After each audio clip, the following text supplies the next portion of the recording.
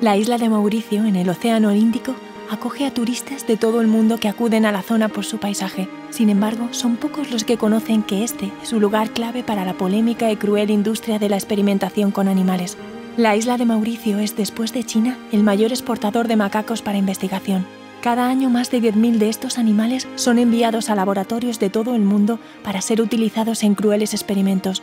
Estos inteligentes y sensibles animales viven en libertad en la selva formando grupos sociales con una estructura compleja. Los cazadores aprovechan la mayor dificultad que tienen estos animales para encontrar comida en invierno para instalar trampas en la selva y capturarlos. Son separados de sus familias y llevados a los grandes criaderos que hay en la isla. Más de 7.500 macacos contemplan tras las rejas de estos centros la selva en la que vivían. A escasos metros de sus jaulas se encontraban en el que hasta hacía apenas unos días era su hogar. Estos animales son utilizados aquí como reproductores. Sus hijos serán las víctimas de todo tipo de experimentos en laboratorios de todo el mundo. Cada año alrededor de 4.000 macacos procedentes de esta isla llegan a Europa, principalmente a España, Reino Unido y Francia.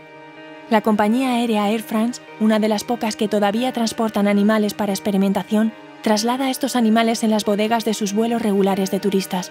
Los pasajeros generalmente son ajenos a todo esto, pues a Air France le interesa continuar su negocio sin afrontar las críticas. Encerrados en diminutas cajas de madera, los macacos ni siquiera pueden ponerse de pie y sufren la falta de ventilación, el ruido y los cambios de temperatura. Durante casi 12 horas de vuelo recorrerán los 9.000 kilómetros que separa la isla de Mauricio de Europa. España recibe anualmente entre alrededor de 2.000 macacos provenientes de esta isla. Es el mayor importador de estos animales de toda Europa. Estos animales son llevados al centro de Camarles, dirigido por la empresa Camarney y Noveprin Europe el equipo de investigación de igualdad animal ha conseguido imágenes inéditas de este lugar. Este centro, situado en la provincia de Tarragona, sirve como punto de suministro a laboratorios de experimentación de toda Europa.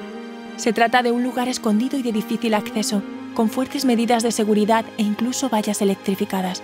A pesar de todas las protestas e intentos que ha habido de cerrarlo, continúa realizando sus actividades bajo un gran hermetismo. Encerrados entre hormigón y jaulas de metal, Alrededor de 3.000 macacos pasan sus días a la espera de ser enviados a un lejano laboratorio, donde algún terrible experimento acabará con su vida. Los animales muerden la reja o tratan en vano de desenroscar sus tornillos para escapar.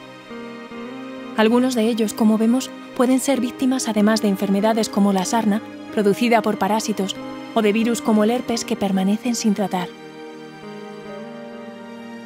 Muchos de ellos morirán en los laboratorios de empresas privadas como Covance o Huntingdon Life Sciences, conocidas internacionalmente después de que activistas y periodistas se infiltrasen en ellos y grabasen con cámara oculta sus secretos.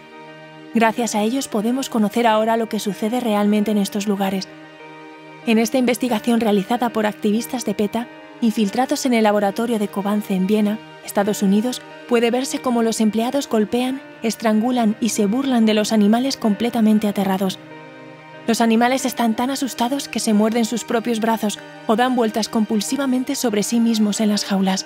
La soledad, agonía y desesperación es indescriptible. Sin duda es necesario que la sociedad progrese y descubramos formas efectivas de combatir las enfermedades que padecemos. Sin embargo, este avance debe darse sin experimentar en animales, porque ellos al igual que nosotros, ansían vivir en libertad, alejados de dolor, de la angustia, de la soledad y del miedo. Por favor, firma nuestra petición para pedir el cierre de la granja de Camarles y que las compañías aéreas no colaboren en el transporte de estos animales con un destino tan terrible. Juntos podemos ayudar a acabar con todo esto.